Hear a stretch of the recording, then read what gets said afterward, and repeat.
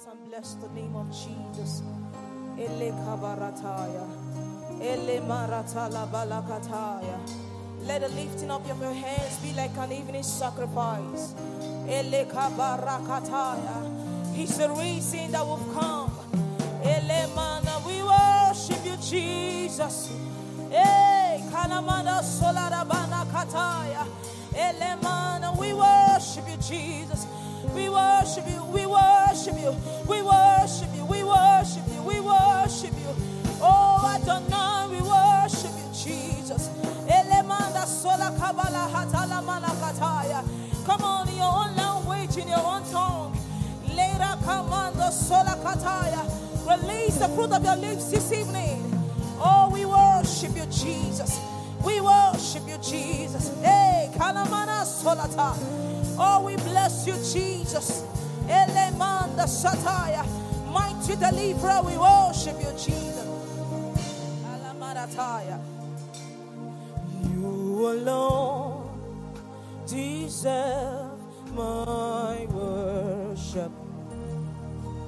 You alone deserve my praise.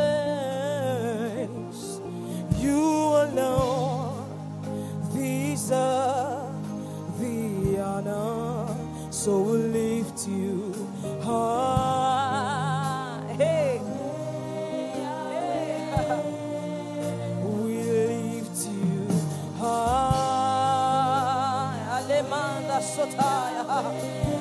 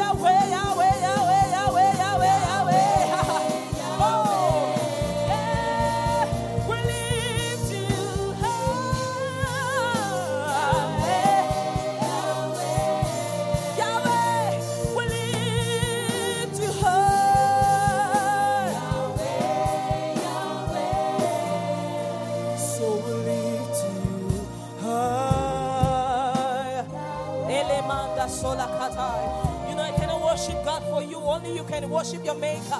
Elamana silamaya. Yahweh,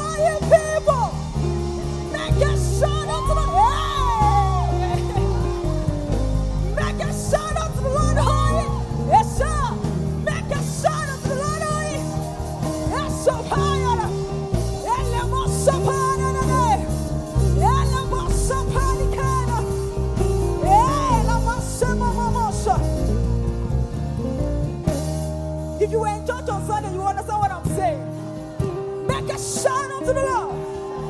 A shout.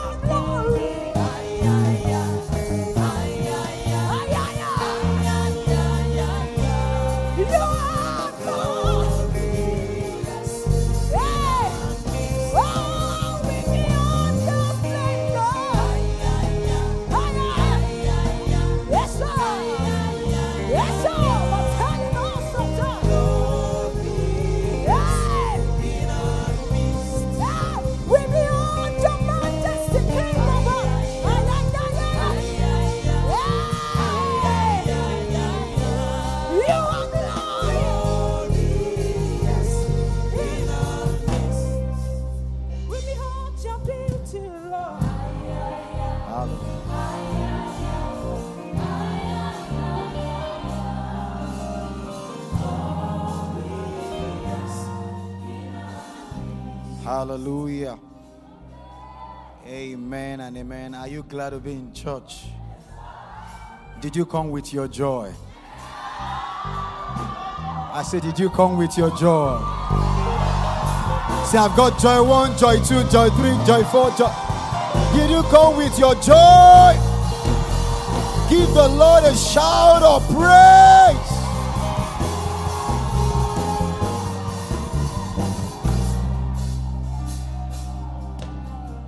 Hallelujah. Father, we thank you. We give you praise. We honor you tonight. Thank you for what you are going to bring to us tonight as light and revelation. We thank you for this season. How many of you know that God has been good to us? As a house. You know, um, God has been good. God has really been good. I know that uh, there are people at different level of their faith believing God for things, but really, if I will be permitted to just check where you are in the light of what is going around, God has been good to you. He's come through for you. He has come through for you. How many of you know you crossed some mountains and it was by God? God has been good to you. I just needed to remind you because the Bible says, Bless the Lord, O my soul, and forget not. Forget not. Forget not. I refuse to forget. I refuse to forget. And that's why I told you, in case you are losing your joy, it means you need to stir up your gratitude. I say you need to stir up your gratitude. I want to give you two minutes of just glorifying the name of the Lord your own way, without whether with a shout, a song, a dance, a jump, a run, a scream, whatever way suits you, just give him praise. God has been good to you. God has been good to you. God has been good. God has been good. Shakabalabala. Hey. Hey. I said, give him a shout of praise.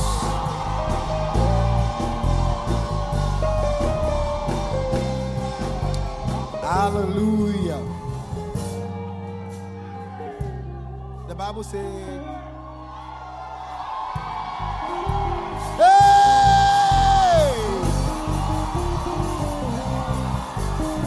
Then speak to God for his unspeakable gift. The unspeakable gift of God. The unspeakable gift of God. Yay! I just I just want to remind you that if the father says when you give with your right hand, your left hand supposed supposed not to know, then it appears that if it's your father and it's our father, and we should do like he does, the ones you know. I said the ones you know, the things you're even thinking you're thanking God for now, can't be compared to the hidden things. Let me come to somebody. You thought you knew where you should praise God. But I want you to thank Him because you are ignorant of why you should praise God. Do you understand I'm talking about? That you are ignorant of so many reasons. Thanks be to God for His unspeakable gift.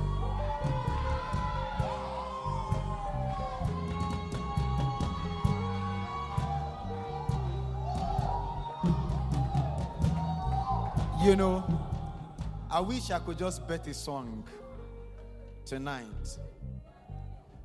And if if if there is a phrase I would love to bring you, it is "Ẹ ṣé gbogbo ìgbà mi." You know, that, that phrase just hits me in my spirit. That is, thank you for always.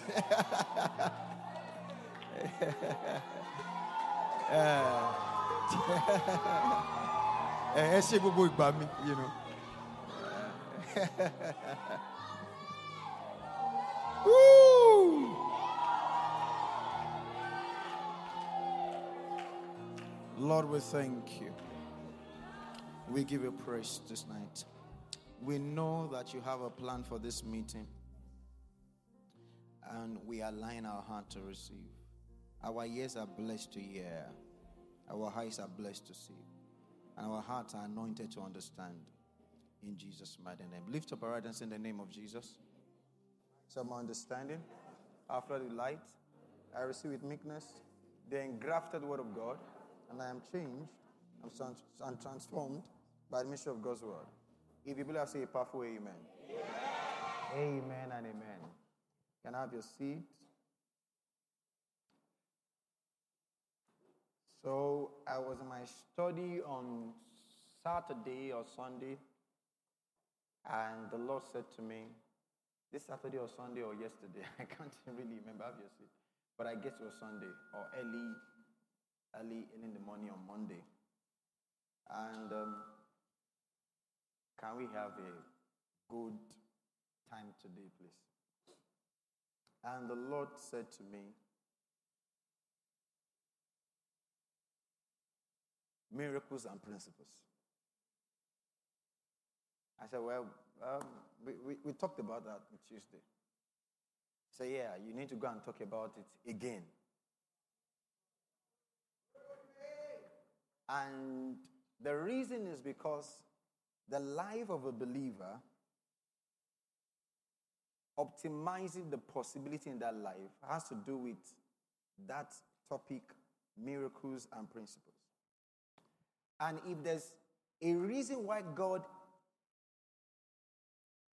demanded that I should come back to teach it, is because of one word, just one word, three letter word. Miracles hand principle. God said, go and emphasize the fact that it is miracle, miracles and principles. The fact that the hand is very important. The conjunction is very important.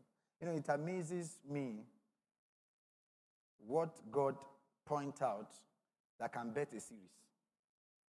If a teacher of God's word, BUT, but can start three week series for you. It's an anointing to see what maybe people would not ordinarily see. Now, when the Lord began to talk to me, I understood what He was saying because sometimes we have um, some set of people who believe in principles at the expense of miracles.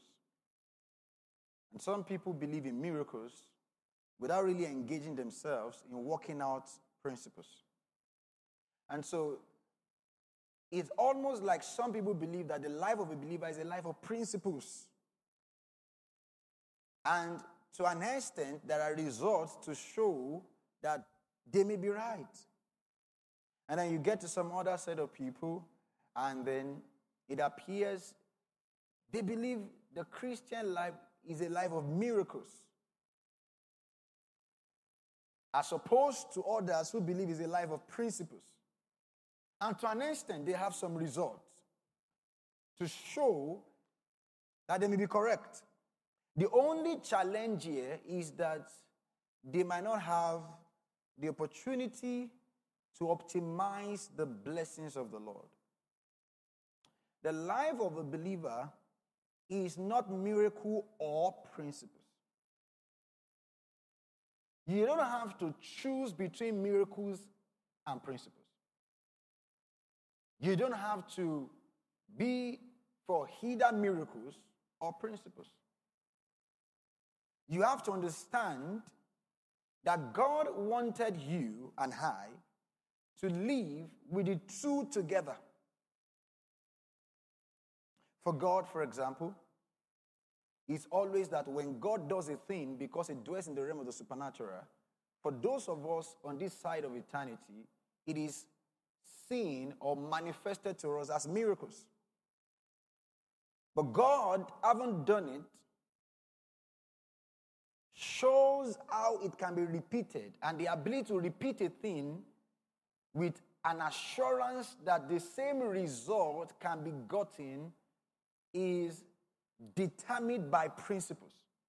So, for example, Jesus, for example, multiplied bread twice, and he did it just the same way.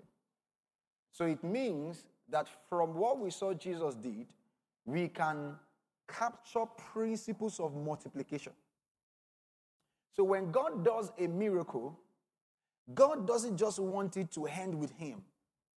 And so we just say, you know, it's just God that can do that. And so that which he has done, and I'm talking, when I'm talking about principles, I'm talking about scriptural principles and scientific principles. You understand what I'm talking about? For us, particularly scriptural principles. Now, for example, how do you multiply things in your life? Scriptural principles. No science can probably justify this, as, as, as far as I'm concerned. That you look at your store, you look at that thing that is not enough, and you begin to praise God over it, and over time, there is a multiplication.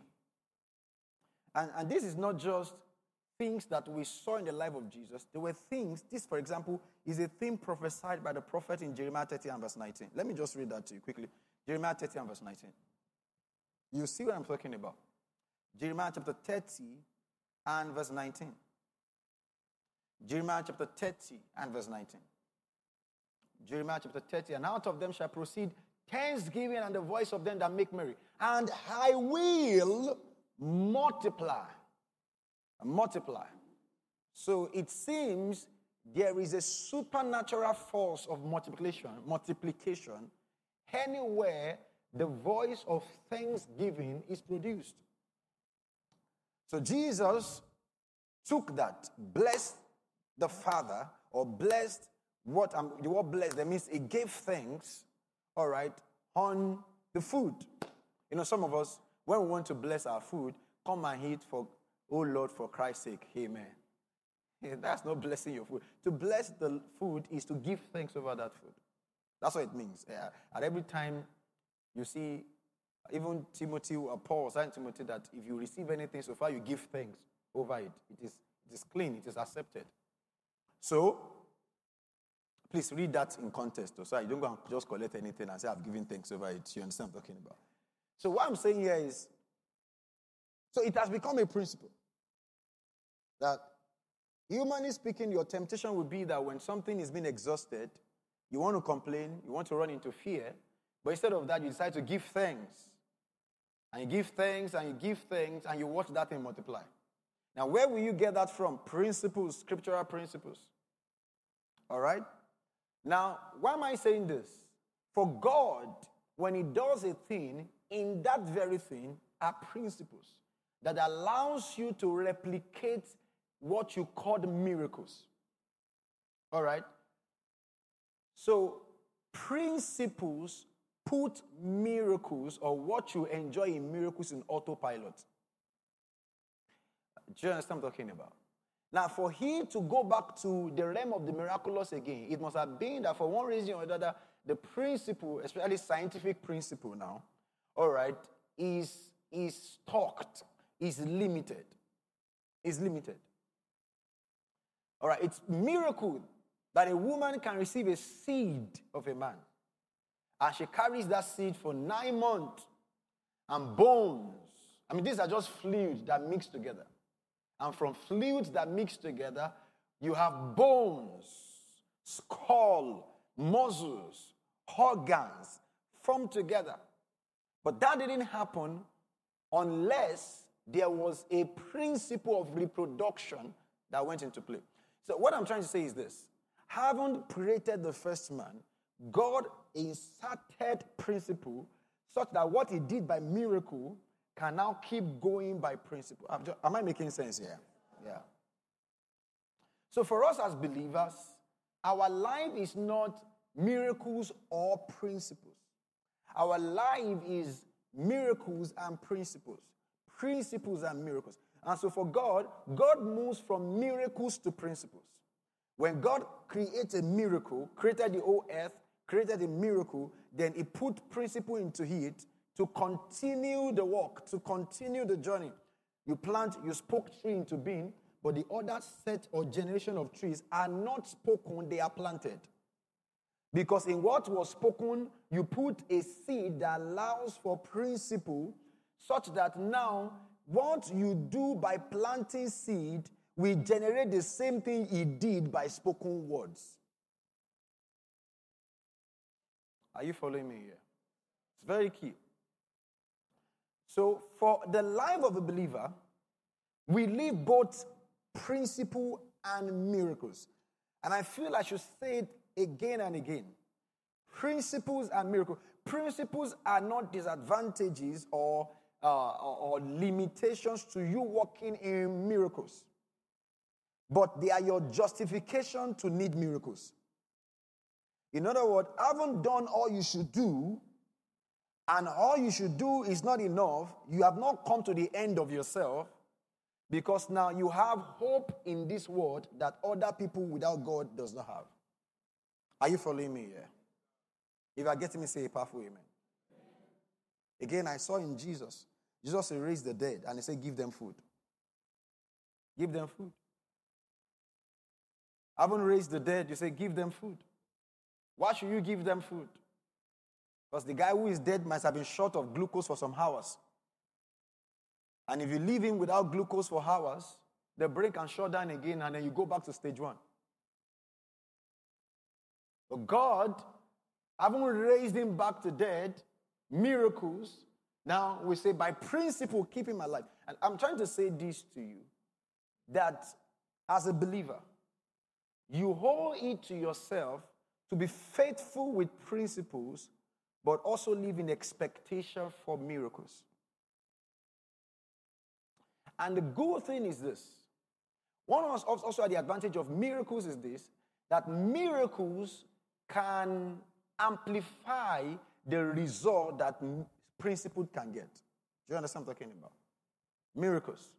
You see that in um, Isaac, Genesis 26, 27, I think 26. There was famine in the land. Famine in the land. And then the guy sowed in that land.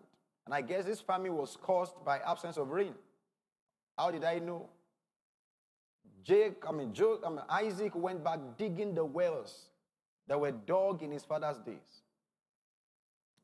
That means he was in search of water, and there was fight. They fought on each of those wells he saw until he found one that he named Rehoboth.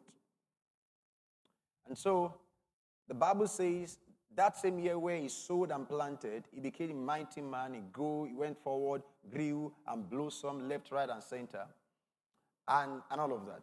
And of course, it was God that made him blossom.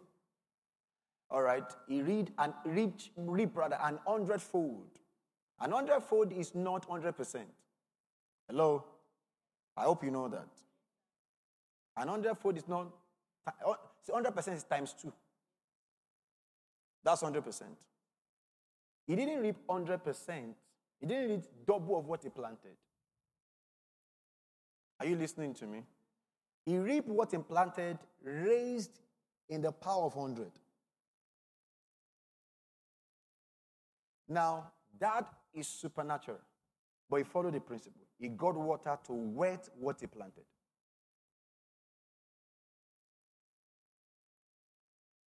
You see, I'm talking about here. So even though he followed principle. The blessing of God upon him expanded what he has done so much so that he got result beyond what principle will have handed to him. Am I making sense here? So, if you are a professional, like say a lawyer, you do your homework as a lawyer, you go to law school, get a good degree, all right, start your own, what do you call it now? Um, law firm, yes? And then down the line, you must follow the principle that makes for success in that profession. But even people in that profession now knows that it's not enough for you to be able to blow grammar to win a case. Spirit must help you. Now, that's what I'm saying. All right, some trust in chariots and in horses. But we trust in the name of the Lord. The man who trusts in the name of the Lord will not wear, walk barefooted to the battleground. He will still go on chariot.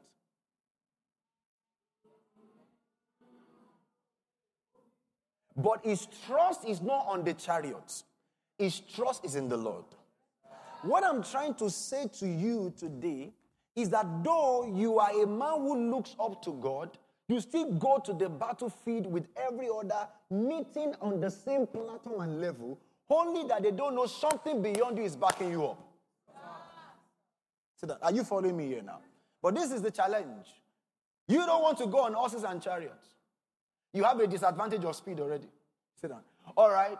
But you want God, you know, you, you're just praying. You're just praying, Lord, Lord, this battle, Lord, this battle. And God says, okay, no problem. Why don't you do all you can and let me do all I need to do?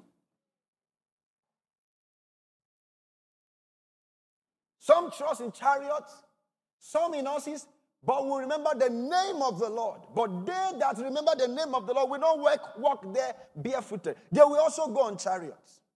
You also speak the language. You also talk like a professional.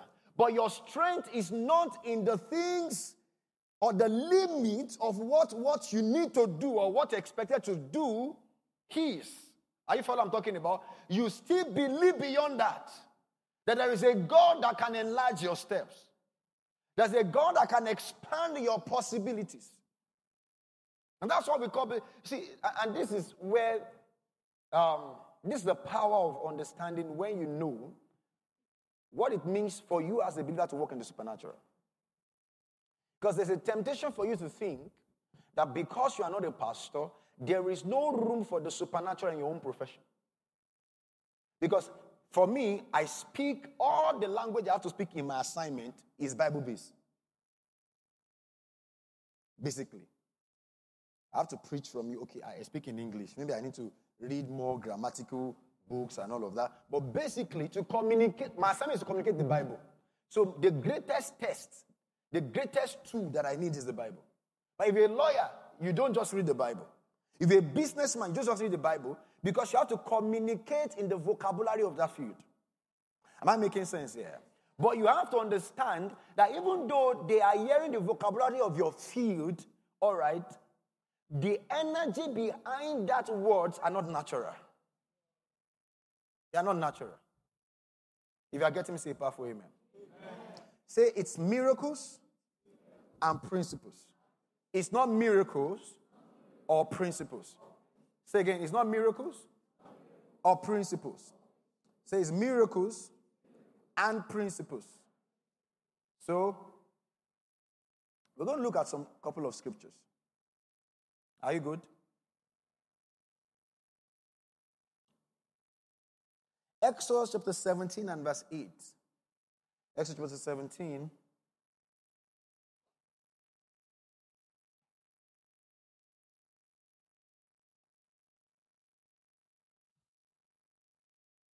And verse 8 to 13. I'm trying to say to you, for example, as a student, you read your book, you write your exams, but there are factors behind you between the time you write your exam and the time it is pasted that you don't have power over. The mood of your lecturer, the rat in your lecturer's office.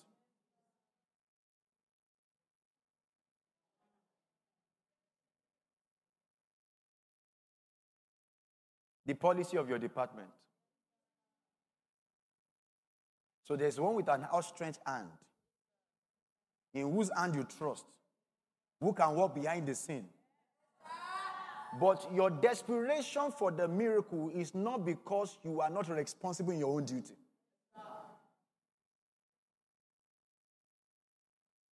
Are, are we together?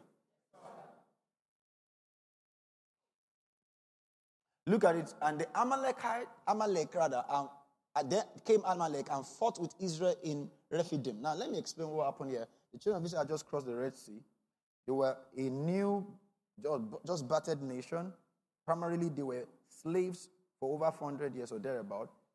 And the first experience they're going to have of a war because they didn't fight the Egyptians, the ocean, the sea opened up. Now, that's a miracle, right? Was there any other alternative they could have taken? No. So the only thing that could take them over at that time is what? Miracles. Now, the ones who came with principles on horses and chariots, but don't have access to miracles, perish at the point principles ended. Do you understand I'm talking about? That's just an example. That means Babe, can you drop your tab? Both of us are going now.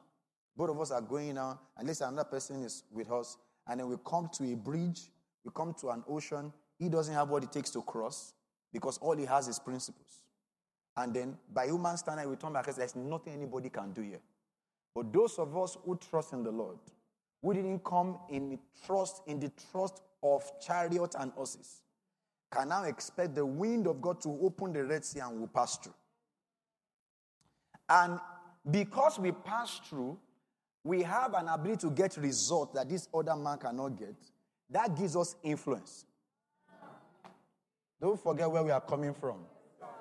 So they said there is a guy, he always gets results.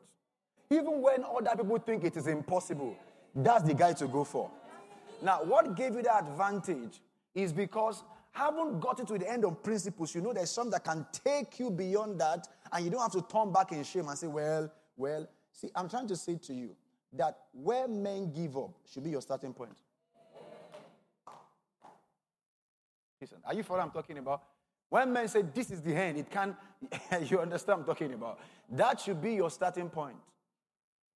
Because there's an advantage. There is an advantage for a child of God. There's an advantage for a child of God. Pastor Tayo was supposed, was this story I was sharing last week? Did I share it? He, was supposed to go for an interview. They told him he wasn't qualified for an interview. He was supposed to be qualified. He was employed September 1, all right, 2020, 21. But because of COVID, his certificate was not ready. So, 2020.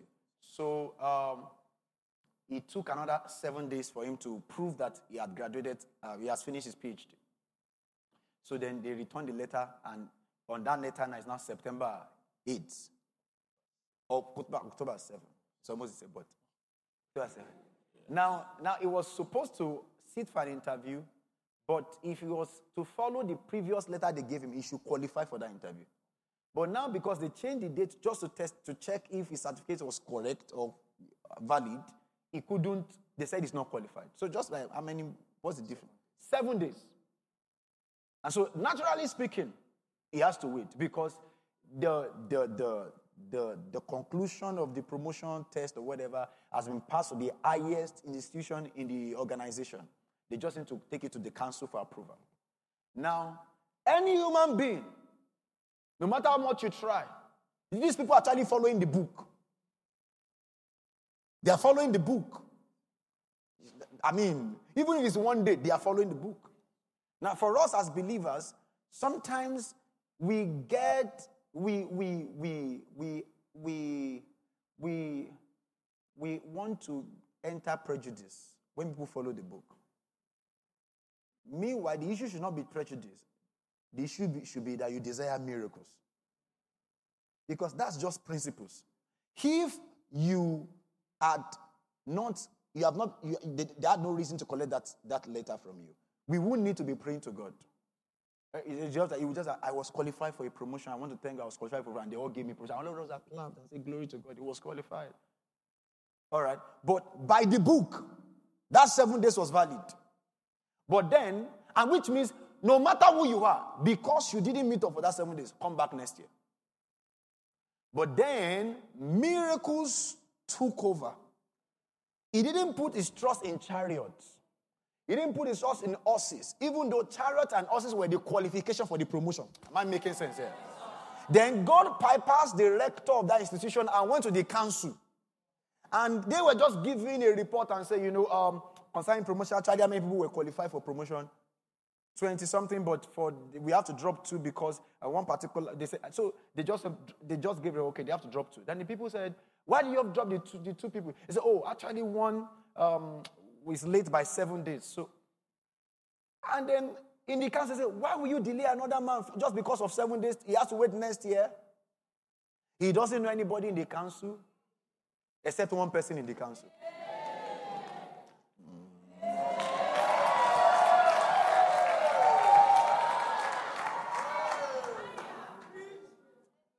How many of you know that person? You know that person? There is somebody speaking for you in the boardroom. Is the invisible participator in the boardroom.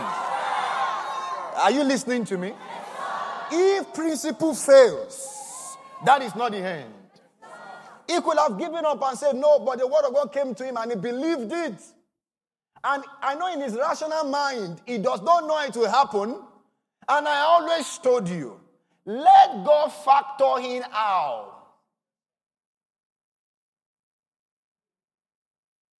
Please see that. Men, he would, you would have lost that promotion if you got offended the people that sat at the panel because they were doing their job. Listen, never fight people because at their own point, they were not the people sent to favor you. They were not just sent. And it is good because you have nobody in that panel for, that sat for uh, your, your, your, your, to worship among them. So let me come back here. Please set the time. Oh. Then came Amalek and fought with Israel in Rephidim, the next verse. I just want to bring examples of scriptures, miracles, and you see how these two are interconnected. Let me pick Pastor Maiwa, for example. Now, particular somebody, I won't mention the details, who insisted that he was going to deal with Pastor Maiwa and she wasn't going to graduate as a medical student. So in the final year, the person was in the place where she was taking a horror exam and make sure that she was marked down. So she had to fail. And I mean, it's not something hidden. All right, it was some noise. It, it was a bit noisy. Some people say, go and beg the man. All right, so I can let you graduate. They said, not let you graduate. Okay, no problem. So they told us after the festival, and we began to pray. So when they're going to do the resits, because they will give you a point to re- write the exam before the final, whatever. I don't even know she's a doctor, so you understand the exam I'm talking about. So they were in the exam hall. Then one old professor who doesn't come to work suddenly show up. He doesn't come. I mean, he was not supposed to be there by every standard. He's an elderly man. That whatever he say, none of them they are, they, they are there. They you know, when he said they don't born you where to talk. That's the kind of professor that showed up. Wait, oh, and the professor, what's happening? He said, we are trying to take exam of the people who receive. He said, ah, you don't punish people twice. Now pass all of them, let them go.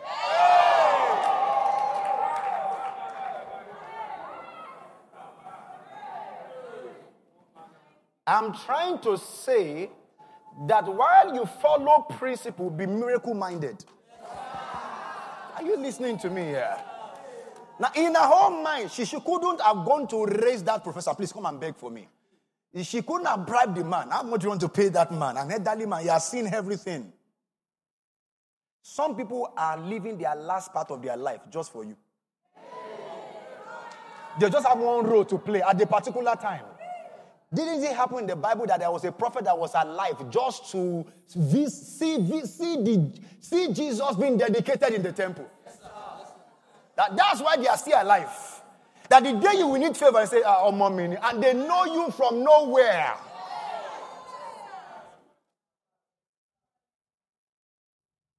Please, are you, are you with me here today? Have your seat. And Moses said unto Joshua, Joshua, choose us out of out men and go. Now, choose out men simply means they didn't take all the men. So that means they looked and they were choosing the best of their men. Notice they were all slaves. Now, how do you bring slaves to a battle? How do you bring slaves to face an army? In mind, mind you, the mindedness of a, of a slave to confront an army. Just think about it. he says that Moses said unto Joshua, Choose out men and go out, fight with Amalek tomorrow. I will stand on the top of the hill with the rod of God in my hand. You will hold the sword of men, I will hold the rod of God. In the same battle, there are two realms. No, there are two there are two events on the same battleground. the next verse. Look at the next verse. So Joshua did as Moses had said to him and fought with Amalekites. If you were in the warfare, warfare front, you see Joshua using sword. Ah, ah, see Joshua, see, see Justus, all those names. I won't mention the name. Or, but just Joshua, those two names, you know, they look alike. And you hear pa, pa, pa, pa. So Joshua did as Moses had said to him and fought with Amalek. And Moses, Aaron, and Hur went to the top of the hill. And it came to pass when Joshua's hand went down, when Moses held up his hand, that Israel prevailed. In other words, when the law of the spirits, when you engage the law of the miraculous, you empower the principles to continually produce results. Mm-hmm, mm-hmm, mm-hmm. Do, do you understand what I'm talking about? I know you have fasted and prayed, but you still have to go and bid for that contract. And you're going to do it so well. But beyond doing it so well, you also have to understand that some people didn't come with grammar like you did. Say they also came with spirits. But you're going to be like Elisha. You said, They that be with us and more than they that be big. Are you what I'm talking about?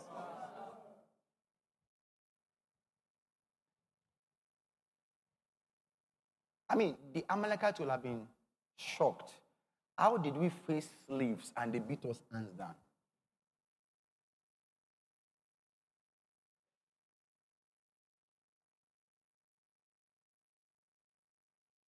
So, if you were with Moses,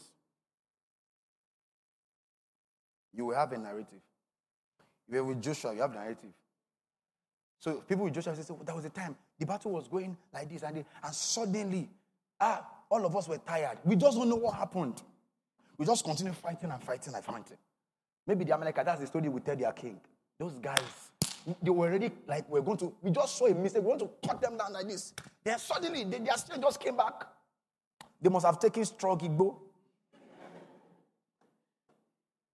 then the other guy will say, Kini, that will raise the rod like this. You Meanwhile, when God looks, he will say, Why you were raising the rod? Or let me say, the sword kept walking because you were raising the rod.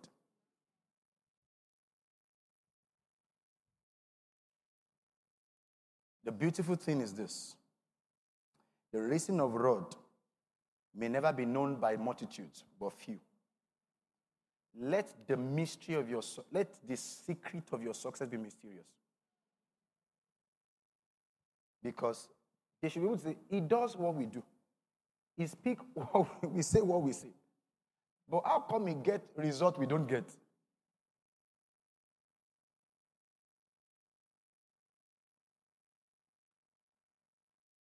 Miracles and principles.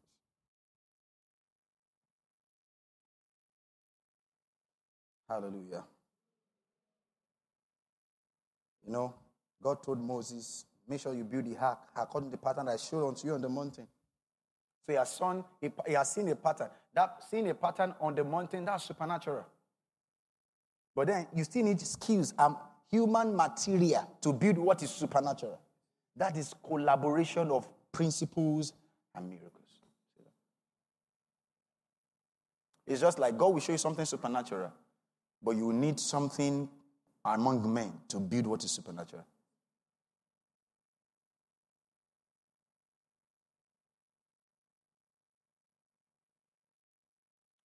I was talking, let me just say this in person. And the type of people who judge churches that do these things. But you must know where the limit is. Especially when you are going to betray your nature as believers. All of you that are in Bible study today, I want to assume 90% of you are serious believers. If I ask you right now to open your phone about 90% of people on your phone are serious believers. If we want to grow this church, you are not the best option to use to get this church. Because the people closer to you, if they are serious believers, they should be planted in a solid church. The only option we have is to send you to the streets to go and win souls. An average number of people you win on the street I haven't gotten them say, We tell you, I have my church.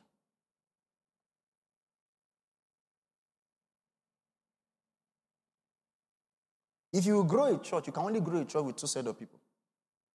the unchurched, unsaved, or the immature. If anybody comes to this church and say, Why did you start coming to NRCC? I like the word they are preaching there. He's a good believer before he came.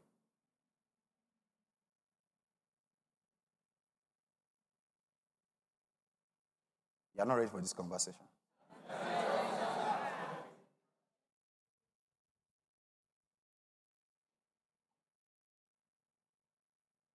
Principle, we say, sit down. What did Jesus call so winning? He says fish catching. No fish is really caught until something attracts it. Don't worry, we'll talk about it later. Don't let's talk about it today. So, as I was saying,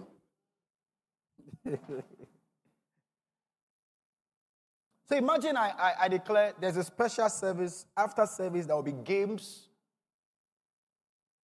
Ludo games, fresh hot pop off after service drama, and special ministration by Alabaster. I like, I like the way you started. Okay, eh, eh. do it to well, do it well. Joy one. Sit down, sit down. You know, I, some people who like excitement would come to church. And they are better off in church than on the street that Sunday. They're in a better place that Sunday. They're in a better place that Sunday. I said they're in a better place that Sunday.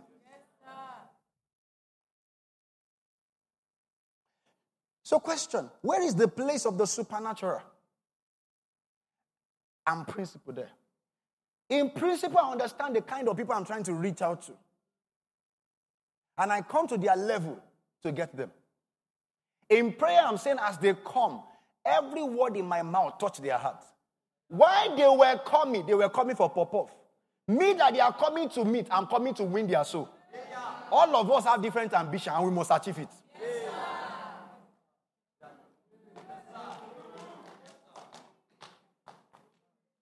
Or else, we are not ready to win the world. Though. If I ask Pastor to bring 10 people to church this year, all right, he will sweat. Most of his friends are tongue talking. Saparadabaya.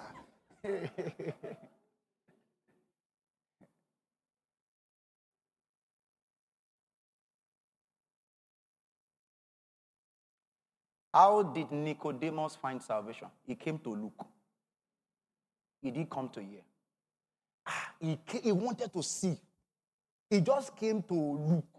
While he was busy looking, found salvation caught him. He, he, he, was shocked that Jesus will call his name. That was not the idea. The idea was not that Jesus will call his. The idea is that I just want to look. I just want to see this guy, and I'm too short. Let me just climb a tree. Eh. Jesus said, Today, salvation has come to your house. How the thought of the man that God will catch by salvation might look far away from the intention of God. But we still position him to do what God needed to do in his life.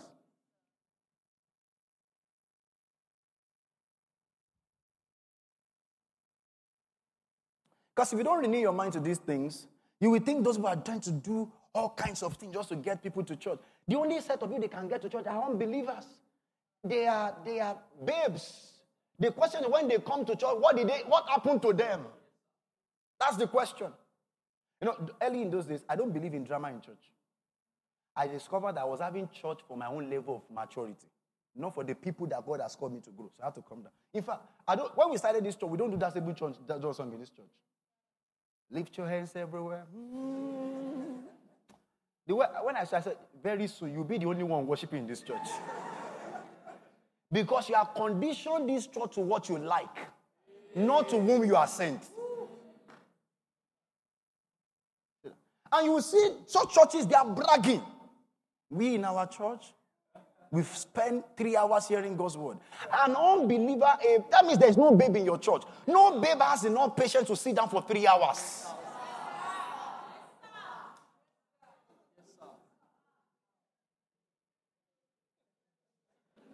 We are doing three hours Bible study, exegesis, three hours.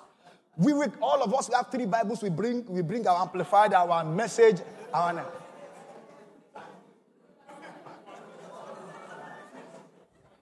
Even God will be shaking his head to your foolishness.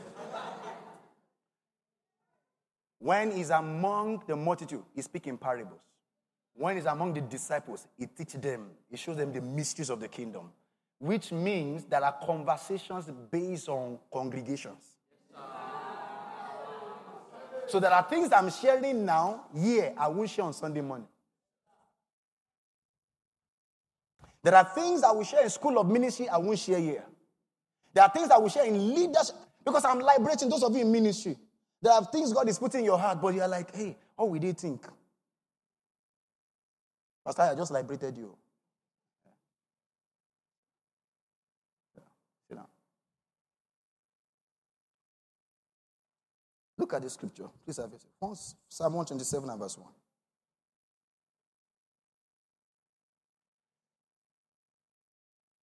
Except the Lord build the house, they labor in vain that built it.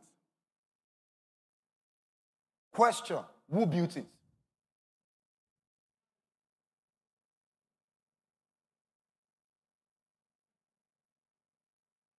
Who built the house? Are you sure? If what you will do as a builder will not be in vain. God must be building the realm of the spirit. Because God, God doesn't build with blocks, He built with words,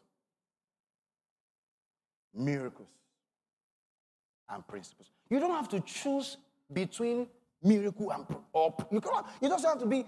Is it miracle? You are on. Are you on the side of miracle or on the side of principles?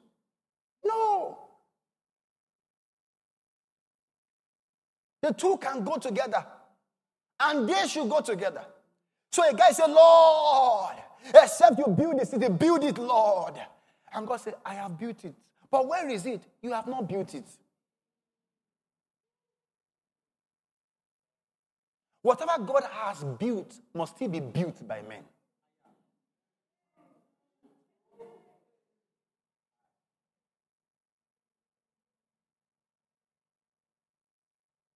When God shows you that big ministry, big business, that's what He has built. But what you will see is what you build out of what He has built. And if you refuse to build anything, because in the realm of this, forever, oh Lord, thy word is settled, in heaven it is settled. In the realm of spirit, some of you will get to heaven to see the things you have you never had in your hand.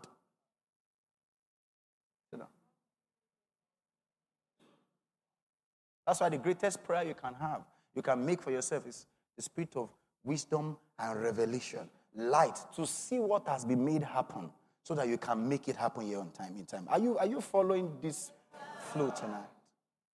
That's a miracles and principles. See, whatever the Lord has built, I'm, I'm responsible to build. Whatever the Lord is not building, I'm not interested in building. And that's that. You see the balance now. So it's miracles and principles, not miracle or principle.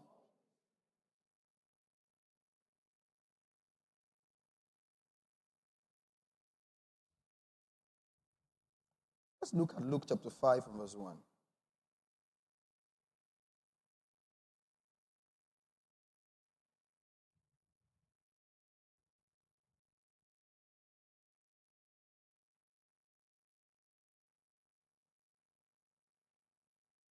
You know, sometimes, let me go there. Luke chapter 5 and verse 1. Sometimes I think she want to say as a pastor that would take more time to explain. So you don't go there. Not because they are not relevant. You understand? Yeah. Luke chapter 5 and verse 1. And it came to pass that as the people pressed upon him to hear the word of God, he stood by the lake of Gennesaret Yes, and saw two ships standing by the lake, but the fishermen were gone out of them and were washing their net. And I don't know why they were washing their net because they would not catch anything. Why are you washing? Anyway, maybe caught mud. And he entered into one of the ships, which was Simon's, and prayed him that he would thrust out a little from the land. And he sat down and taught the people out of the sheep. And I've taught from this that this is not the first time I was meeting Peter. And I've tried to show it from biblically, looking at the stories. Peter was there when he multiplied, when he turned water to wine. And the Bible says that was his first miracle. So if that was his first miracle, it means Peter was with Jesus for some time and he left him. And that's why when he caught fish, he said, Leave me alone, I'm a sinner. It was now that moment that Peter now signed in for followership. Follow me, Peter, follow me. Don't this fish thing you are running, you are running from. I have told you, you are going to do, follow me. See, the day you saw me, like say, say you are you are you, you are not going to be called Pet, you shall be called Petra. Abi? I've given you your calling, but you are still jumping after fish. You are still running. That's why your fish is not catching anymore. Follow me. And I will make you fishers of men. So you see that now. Okay? Now, when he had left speaking, he said unto Simon, Launch into the deep and let down your net for a drought. Yes? And Simon said unto him, Master. So you don't call somebody who just meeting for the first time, Master. Master, we have toiled all night, have taken nothing. Nevertheless, at thy word, if he's a stranger, what is you? What do you know about my word? I will let down the net. Yes? The next verse. When they had done this, when they had this done, this done, they enclosed a great multitude of fishes and their net break. I want to ask a question right now. What was it that Peter was doing before? Or what was it that Peter just did that he didn't do before Jesus came? Which means the same principle he has been operating in is what Jesus told him to do again.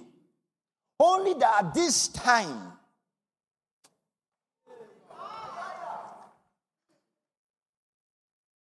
That's why the guy said, We have to. if you look, the guy just want to honor Jesus. You are master. Not your nets. The guy said, Let me just throw one. It's called half obedience. It was the same thing, the same skill, the same way. But what happened?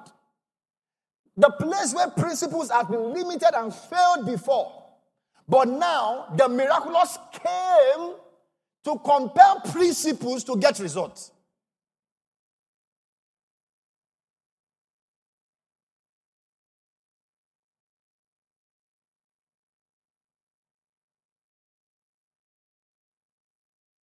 Again, 2 Kings chapter 4 and verse 1 to 7. I'm just showing you examples.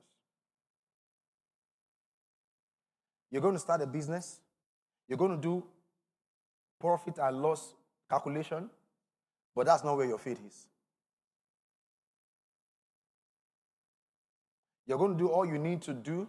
You're going to be diligent at what you need to do, but you know there is something beyond what you are doing that will take you further. Than, are you following I'm talking about?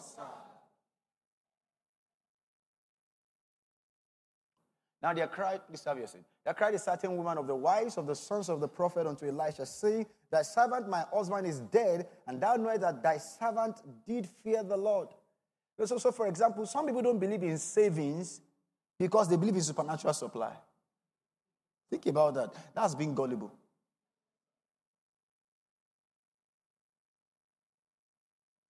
I don't believe in saving when I need it to, it to come.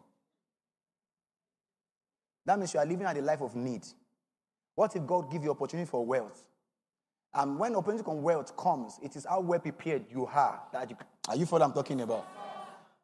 So God gives you an opportunity to buy a land on favor for half of the price, which you should be able to afford if you have been saving.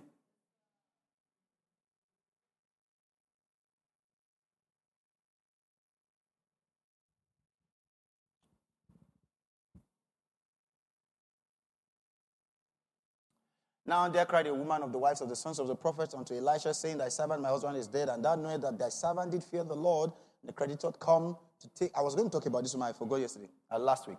Unto him, unto him by two sons to be, to take unto him my two sons to be, blah, blah. And Elisha said unto her, What shall I do for thee?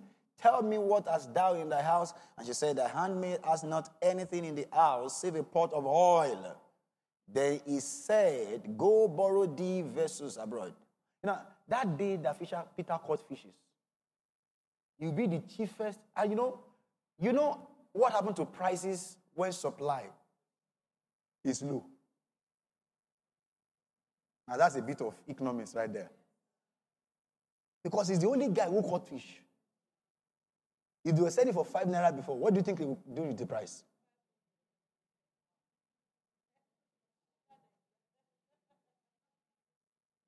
Don't say influence.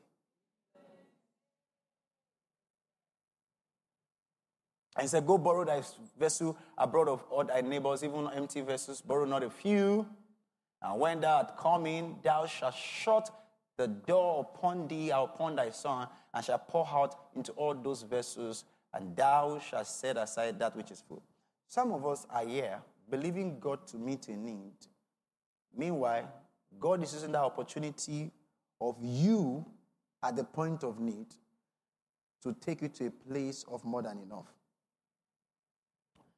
This woman wanted her debt to be paid,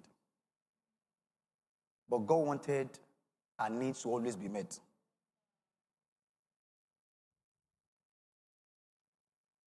So God didn't meet the need by giving her money to just pay the debt. God gave her a business.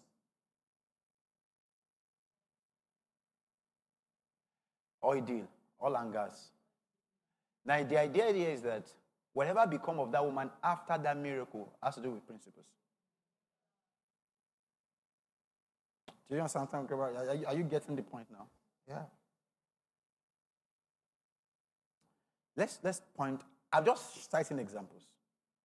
I'm just citing examples. You are a tech person. You are you are coding. After you are done coding, speak in tongues, lay hands on your project before you submit it. You are writing proposal. After you are writing nice proposal, put all the clause there, pray in tongues, lay hands on it. Apostle had taught me something years ago. He said, those days, when he first started ministry, and God just, he was at the level he needed money. God just told him, start writing on Facebook. So he said, when I, when I write on Facebook like that, or maybe before I release it, I pray maybe an high on tongues on it. And I release it. He said, suddenly a woman from Egypt, I've never met her in my life, started sending me 500,000 every month. So, I mean, people just started sending from reading. How many people have read your post? No, they rather attacked you. the same post you are writing, no, the same post. You typed, it typed. You send send, it sent. You, are, you did, he said public, he public. Viewers. But somebody here came with a fragrance of the Spirit. Praise God. So for this woman, and you know, my teaching tonight is very simple. But if you let it sink within you, something is happening to you. This man is a farmer. If I think you're into fishery or something, which one did you say you were doing? Fishery. Don't just pour feed over the over the pond. Speak words over your fish. Do you understand? Speak words. Speaking words now will now not replace feeding them.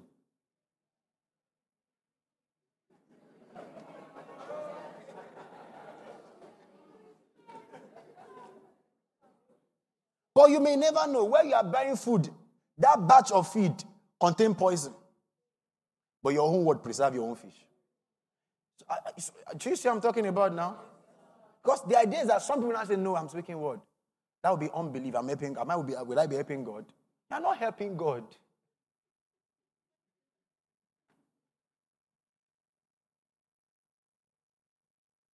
Hallelujah. Serve your seat.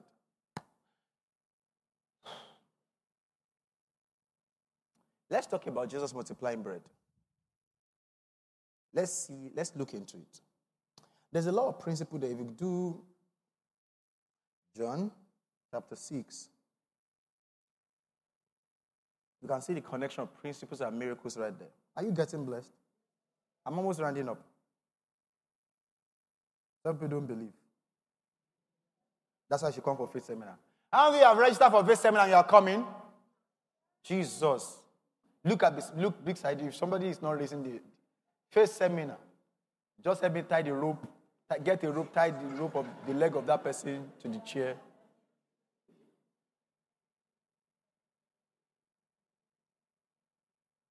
It's going to be awesome. Are you believing God with me? That the word of God will be taught with all simplicity and clarity. Say amen. John 6, verse 5 to 14.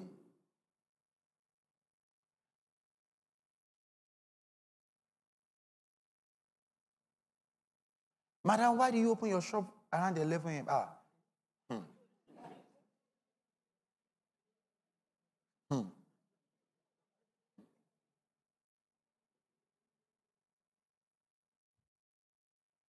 Sit down. Now, hear this. Sometimes the enemy attack principles, but that doesn't make you hopeless. That's what I'm trying to say. Sometimes it could go wrong. That doesn't make you hopeless. He says, When Jesus then lifted up his eyes and saw great company come unto him, he said unto Philip, When shall we buy bread, that these may eat? And this is said to prove him, for he himself knew what he would do. Philip answered him, 200 penny worth of bread is not sufficient for them, that every one of them may take a little. One of the disciples, Andrew, Simon Peter's brother, said unto him, There's a lad here, which have five barley loaves, and two small fishes. You know, some funny people said, those days, the fishes were so big, the bread was so big, and I guess the child was also so big because that was somebody's lunch. But what are they among so many? The next verse. And just said, Make the men sit down. Sit down. Sit down. Now there was much grass in the place. So the men sat down in numbers about 5,000. Now, actually, if you read that account, even told us they said they sat down in 50s. Planning. How do you want to feed, feed thousands of hungry people? By the time they trample on you, the miracle will no longer be multiplication of bread. It will be raising all of the dead.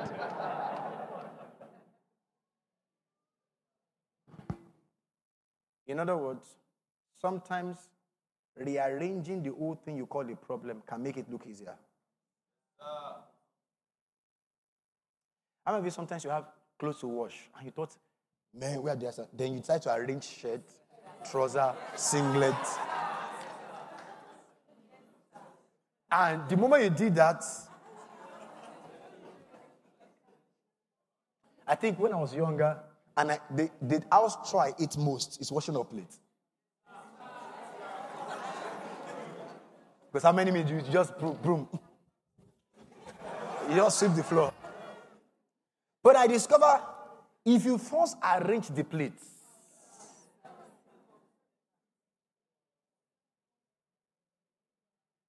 that means evaluate your problem correctly. You see? Let them sit down, 50 by 50, and all of that. And I love the fact that the Bible even tells us that there was grass there. Understanding human nature. I didn't just say you should sit down on bare floor. It looks like carpet grass.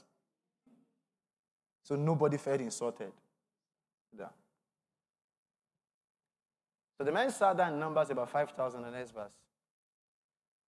And Jesus took the loaves, and when he had given thanks, he distributed to the disciples, and distributed to them that were set down.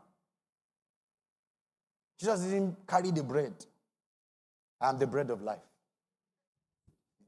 No. Structure, leadership, organization. How long will it take one person to feed 5,000 people? Remind me. But if they sit in the company, comp, company of 50 and you have maybe 12 disciples, how faster will that be? Talk to me.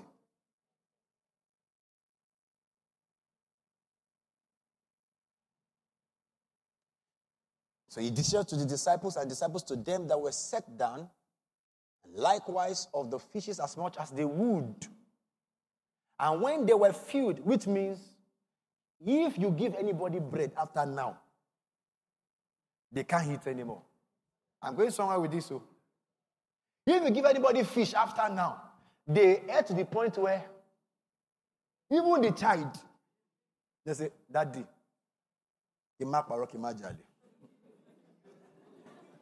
Like, true to God, I'm just all right now. He said unto his disciples, Gather, no, Jesus, don't do that. Gather up the fragment. No, just take two or three fishes and pack it and multiply it. Jesus said, No, no, no, it's not done that way. That he can multiply bread does not mean he validates wastage.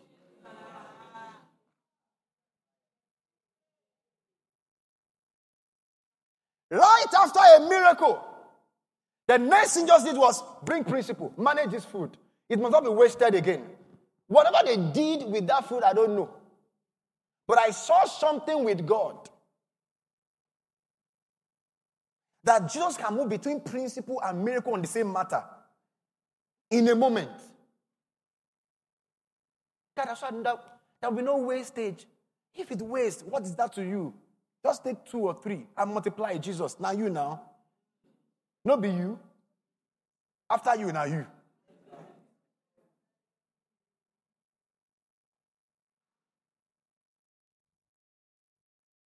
Sit down.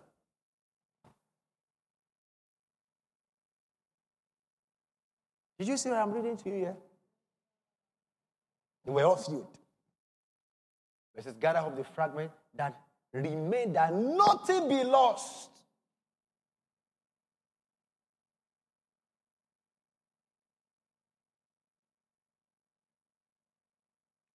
Again, how did Jesus sponsor himself in ministry? If you know the principle of how Jesus took care of himself in ministry, whether you're a minister or anything you do in life, it's the same principle everywhere. Let me say something to you. Value is the only legal way for money to change hands.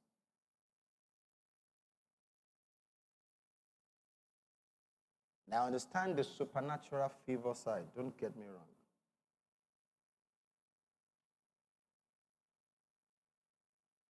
Bishop Oyedepo said, when he was entering full time, and he says, Lord, how am I going to take care of my wife and children and all that? I said, No problem. He said, he said God showed me a scripture. He says, The laborer is worthy of his work. I said, God, is that the principle?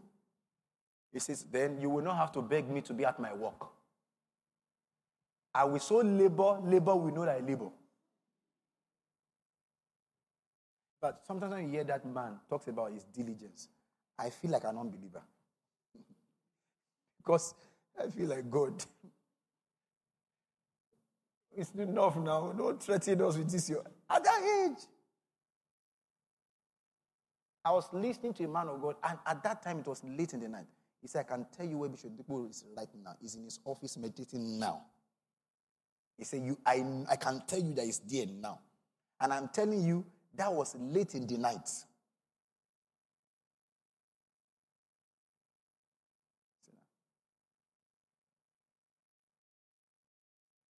A laborer is worthy of his reward.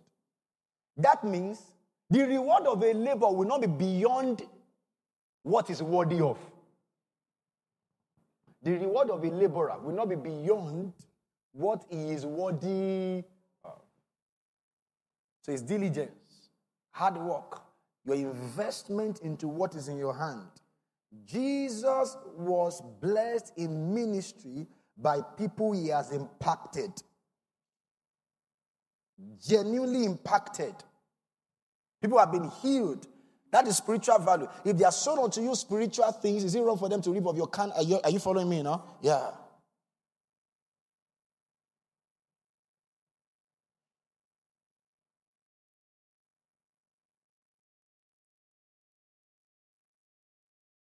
Principle.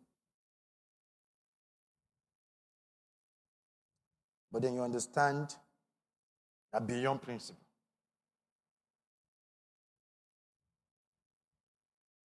Beyond principle. Do you understand that in John chapter 4, at the time Jesus was talking to that woman at the well of Jacob, he was alone with that woman. I mean, remember. You know why he was alone? He sent his disciple to go and buy food. I said, No, no, Jesus. You that multiply food. And don't forget, the devil tempted him to turn stone to bread. If it was impossible, it wouldn't have been a temptation. Why buying what you can create?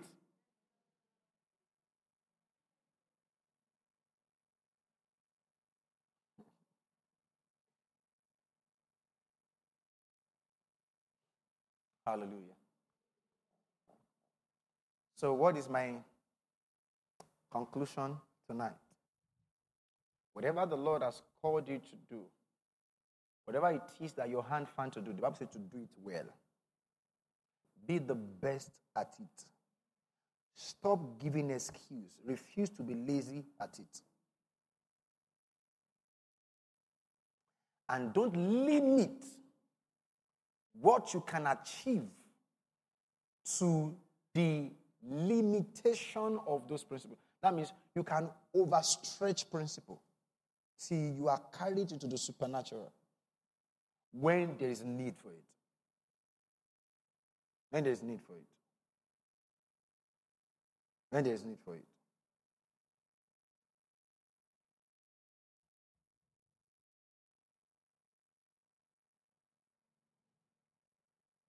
Did you get something tonight? You're called to sing, right? I know you're going to pray and fast for God to spread. Bible says just return the power of the Spirit and His fame spread abroad. I know you're going to do that. But if your fame spread, and they say, okay, this girl we have been hearing about, let her come and sing, and you sing nonsense, as it spread, so shall it die. Somebody saw your picture on DP. So that lady, let me even meet her. Maybe the Lord may be saying something. But the day you were met, the atmospheric condition.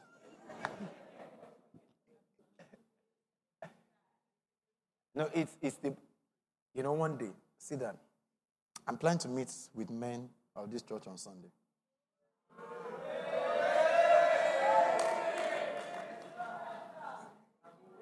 I want to do I want to do what my spiritual father did for me some years ago. You know what happened?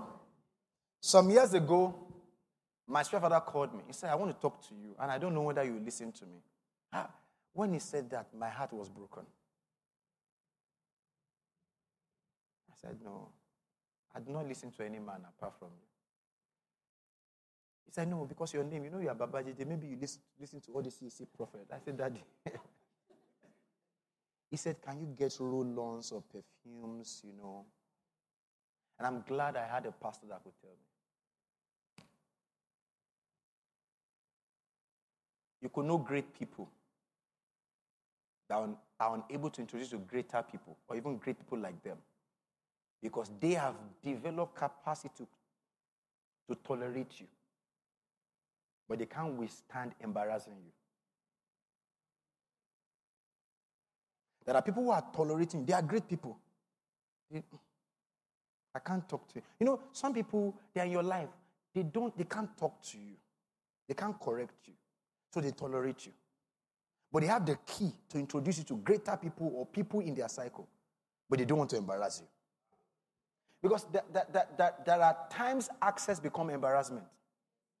It's better little people know your shame. They're not ready for this conversation. Exactly like that person is saying.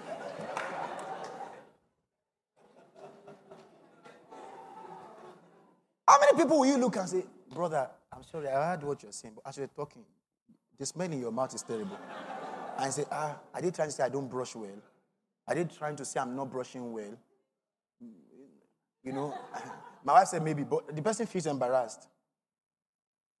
And you will have helped that destiny.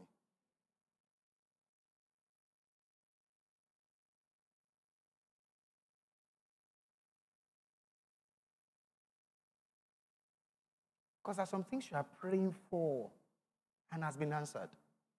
God has built the city. Do you understand what I'm talking about? It's important we look good. It's important. Some of you, God brought you NRCC to renew your mind. What I'm doing in Ado Ekiti by God's grace is strategic. It's not just the teaching of God's word, is the image I'm setting in your mind.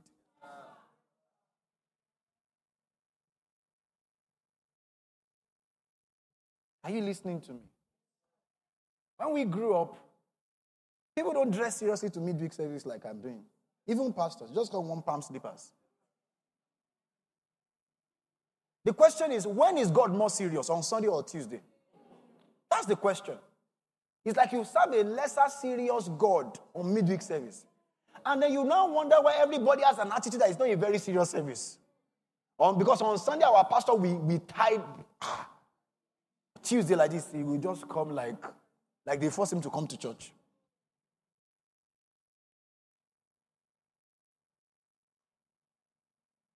Practices develop skills. That's the key. When when you practice something, you are developing a skill. And skills don't leave you forever, they stay with you. You're able to replicate it. I was saying that, I, I think I said it again online yesterday, that if you work for a person, the least thing you can be offered is money. If you learn a skill, and if you have served another man's business, the eventual thing God was hoping to get you into is to have your own. But do you have the skill to own one?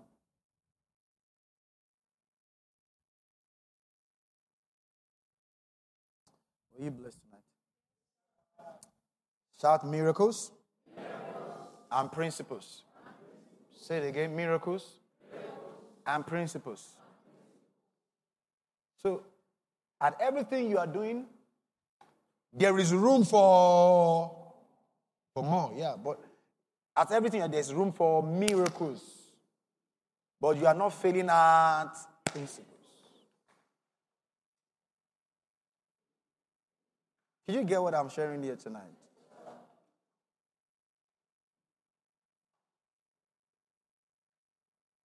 It matters how you arrange your bedroom. The brother to the future spouse might be coming to visit you. It matters how you treat people around you. My covenant friend called me today. I was the one that introduced him to his wife. It happens that way. Sometimes the way God connects two godly people together is by using one godly person or who knows both persons to introduce them together. It's divine. It can be divine. It matters how you treat it. You will not marry that one, but you don't know whether it's the other brother of that one that you marry. But you have trampled everybody. You know, the vibe about some people, they need special prayer oh, because negative vibe is too much about them.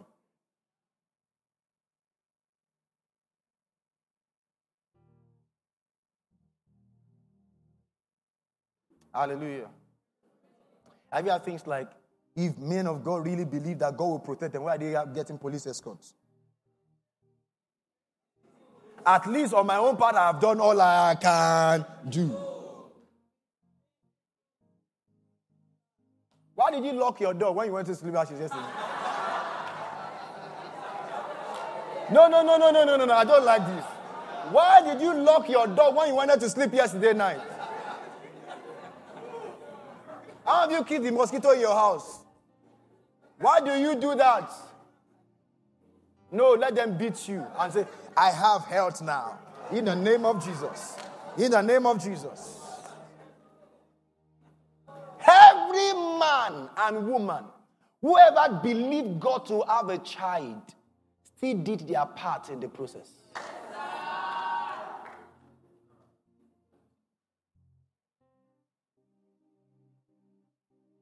So, what's your responsibility?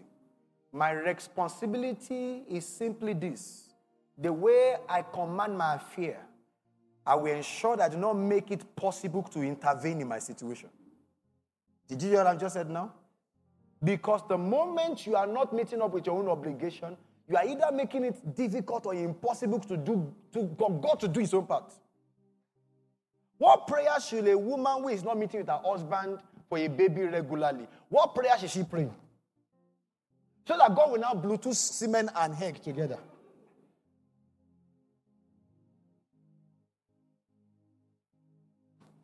So the idea of following principle is that you are making it easier for God. I said, so can somebody make things easier for God? Yes.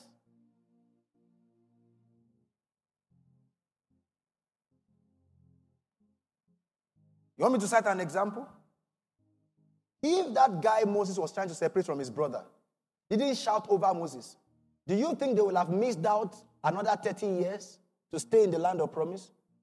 If you calculate very well, God said they will stay there 400 years. All right, that guy showed 390 years because he went on exile 40 years. That means God even showed up early enough so that whenever all of these arrangements, Pharaoh is saying no, no. By the time he says no, no, no, no, no, he will say no to the point that exactly, are you what I'm talking about? 400, everybody can go. But one stupid guy with his big mouth tied down the deliverance of a whole nation by saying, hey, is it because I didn't see what you, you understand I'm talking about? Was it not somebody's confession? And when I mean somebody's confession, 10 out of 12. And even the two that said good confession, their 40 years were wasted together with the 10. Your company matters, so.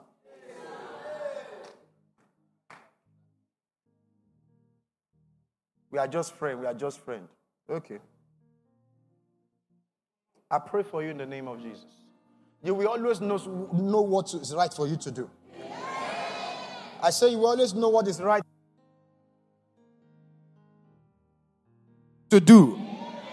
You will always know what is right for you to do. The spirit of wisdom will instruct you. The spirit of wisdom will direct you. Concerning that affair, that business, the works of your hands, I don't know what it is that you carry in your hands. So precious to you. I ask that the Lord will order your step. You will not miss out in your own obligation in the name of the Lord Jesus. And I pray for you while you are busy being faithful on your part. The Lord will carry you beyond your capacity. Grace will carry you. Grace will carry you. Grace will carry you. Grace will carry you. In the name of Jesus. And I was meditating about today. Says, Let your life be like this. When you are preparing for your wedding, like the woman of Cana, get your wine. Should you need more, there is hope. Jesus is in the house.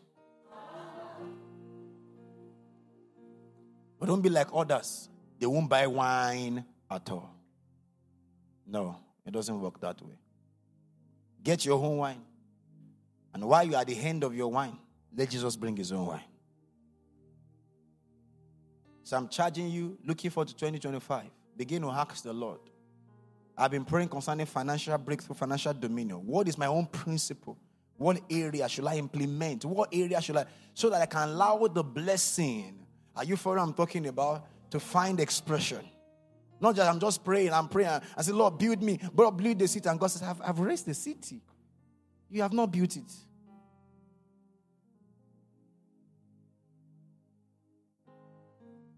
Lord, we thank you. We give you the praise and the glory. In Jesus' mighty name. Amen and amen. Were you blessed or were you blessed? Give the Lord a shout of praise. Hallelujah.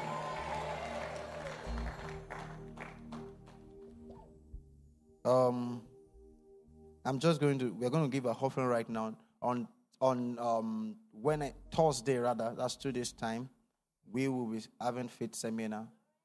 Five o'clock We'll have a good time of worship, and I'm going to take about one hour, 30 minutes to teach. And I'm going to start teaching on faith as if I've not taught it to any one of you before. So I'm going to speak it from fundamentals. From so anybody you feel should, you want them to have an understanding, invite them. All right. Thank God the screen is there. We're going to teach, and I want I want a full auditorium. Is in two ways. I want you to invite people, but beyond that, um, I'm going to ask them to arrange the chairs of people that are coming. Do you understand what I'm talking about? So, you know, these are things that, you know, I said there are conversations you have based on congregations. Uh-huh. so these are things, you know, um, anybody want to come can come. Anybody want to live stream, you know, um, you can live stream for them. They want to come, they can come. Anybody, there's liberty for that. Amen. We appreciate all the guests in the house. Thank you for coming. We appreciate you.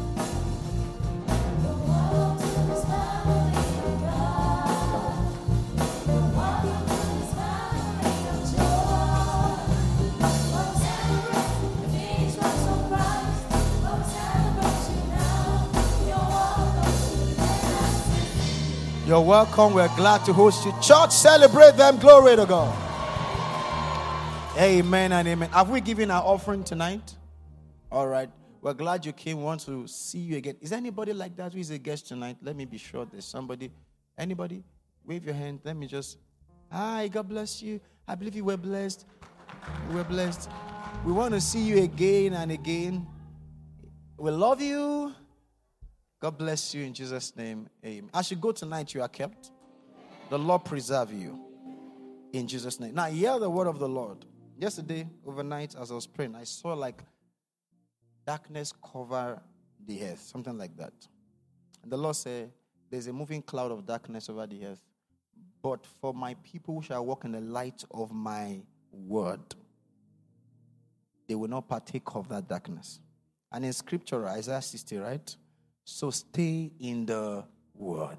The light, if emphasis, emphasis the light on the of the word. Some say the light of the word. Good. Amen. Can we take the word of the house? I'm a member of NRCC. Favor is my tribal mark. Dominion is my reality. Spiritual distinction is my heritage. I enjoy commanded supply. Now and always. I break no frontiers. There's no struggle. I enjoy supernatural speed, mysterious supply, freedom, dominion, sustenance, and lifting everywhere by the hand of the Lord. This is my year. It's still the year. Say, This is my year. It's still the year of God's goodness. Therefore, I don't know why I have to say this to you.